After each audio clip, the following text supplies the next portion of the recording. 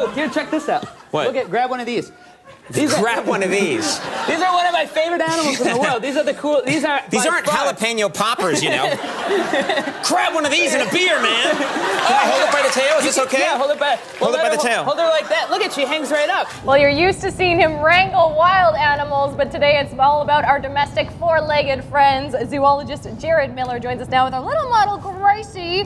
Good morning. Good morning, Courtney. How are you? And good morning, Gracie. Great, welcome to Winnipeg. We're so happy to have you. Well, thank you. Because this is a, a very timely issue. Absolutely. Well, it is Lyme Disease Awareness Month, so we want to talk about how you can protect your pets and protect yourself as well. Uh, Bayer did a recent study that showed, well, first off, that 7 out of 10 Canadians surveyed really value the health of their pet even over their own. I believe it. And with that being said, now that the weather's getting nicer, you know, exposure to Lyme disease, and, and which is carried by ticks, is higher than uh, than it ever has been. So, Ooh, boy. you know, and then also too, um, that really only about 25% of Canadians even know what Lyme disease is or have very little information. So we want to tell everyone, you know, keep your pets and yourselves healthy this this spring. Okay, so we have some graphic photos. Yeah. Tell us what is this? This is that's the culprit right there. That that's a deer tick, and they're found all over uh, all over Canada. We have four species of ticks, but that's the one that not not to say that all ticks carry Lyme disease, which is a little bacteria, but um, but it, they you know you can be exposed to them. And really, what, what happens? The tick carries the disease. It, it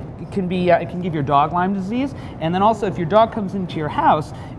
Bringing that tick in and you get bit by it, you could also get Lyme disease as well. Oh, yikes. Yeah, it's dangerous stuff. And as far as size goes, this Yeah, is they're what we're looking tiny. at. Yeah, they're tiny little guys. That's that's a dime there, and that's one that's full of uh, full of blood right there. And what a tick does is actually it attaches to your dog or attaches to you, buries its head into the skin, and at that point, that's what makes them dangerous. They can transmit uh, transmit the Lyme disease that well. And Lyme disease is something that you know it's very hard to detect. My aunt actually lived with Lyme disease for 10 years before it was diagnosed. No way. Yeah, I mean some of the early symptoms are you know fatigue, uh, soreness in your joints because it affects your your neurological system. Wow, we brought Gracie here Yeah. because quite often you think outdoors, you think bigger dogs that are going to the lake, spending lots of time outdoors, but it's Right. little dogs too. Little dogs too, and it's all different areas. Obviously, ticks are more around wooded areas and grass areas, but what we want to talk about to, to combat it, prevention is key. And that's why Bayer came up with uh, Canine Advantix.